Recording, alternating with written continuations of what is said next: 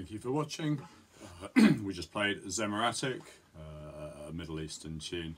Uh, if you're interested in seeing more of what we do, uh, check out our website at www.gypsydreamsmusic.com. Cheers.